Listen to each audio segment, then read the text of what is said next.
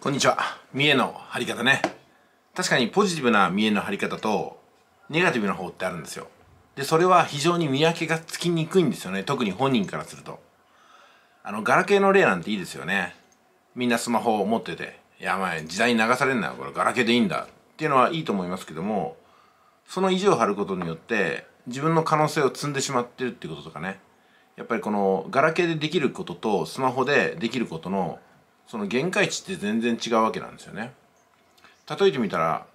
東京から大阪に行くのに自転車で行く人がいるんですよ。自転車で。昔から俺自転車得意なんだ。これ俺の相棒だってからね自転車で行く人。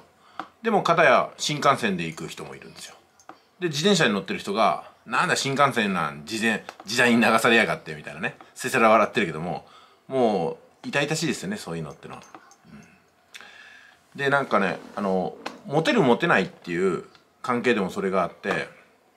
あのやっぱ40代とか50代の男性になってくるとねいや俺もやっぱり年だからねって若い人にはかなわないよねって言っちゃうんですよ。これが若い女性には本当にモテない言葉の代表例みたいなんですよね。だそうじゃないと。年齢を重ねれば重ねるほどもうより新しいものにねあの真摯に向き合っていく素直に取り入れていくと。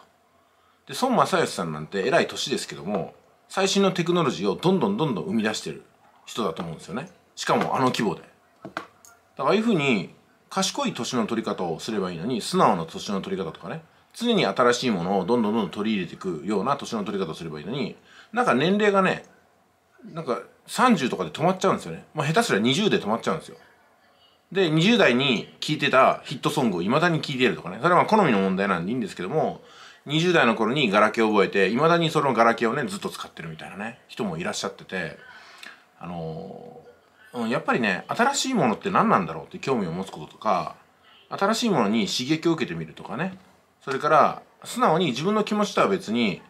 なんで世の中の人はこっちを使ってるのかなって興味を持っていくことっていうのがまあすごく大事で意地を張るっていうのとは全く違うと思うんですよね。それはなんかね意地を張るんじゃなくて頑固っていうのと似てるんじゃないですか？あの武士は食わねど高用事って言いますけどもあれって痩せ我慢のことで決して美しい言葉じゃないんですよね。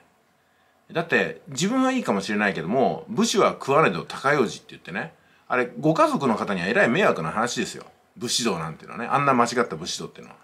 いや本当に武士が見栄を張るんだったら刀を七に入れてでもね家族を飢えさせないことだと思うんですよ。まあ、これはどういうふうに考えるのか武士の魂は刀だから視野に入れらんねえとか言ってね飢え死ぬことを選ぶのかそれとも何があっても生き残って家族を守り主君を守ることを旨とするのかそれこそね刀がなくても心の刀素手で戦ってやるみたいなねそんな気持ちが武士には武士道ってものにあったと思うんですよ、まあ、ですんで時代が変わって刀で戦う時代じゃなくてもねゼロ戦大空の侍って言いますけどもそういう戦い方もあるし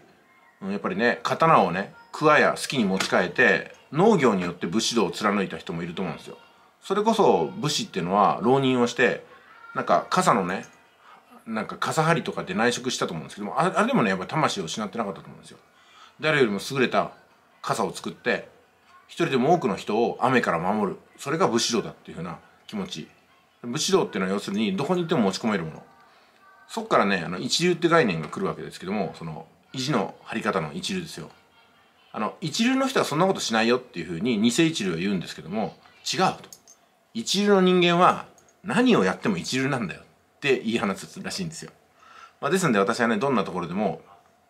意地を張っていこうと思いますけどもその意地の張り方の行き着く先は何があっても稼ぎきるっていうやつですかね。ビジネスをしてる人間としては。何があっても稼ぎきると。稼げないんだったらねもう勝負そのものをやめてしまうぐらいの張り倒して途中でやめてしまうぐらいのまあそんなねご破算にするぐらいの覚悟ですよね、まあでもねやっぱりねあのそこまでして稼ぎたくねえよみたいなのがとてもじゃないけどビジネスマンとは言えないですよね。ビジネスマンならば何が何でも稼いでくることね。それからねちょっとね話長くなって恐縮なんですけどもあのこれとちょっと似たようなパターンでコミュニケーションについてね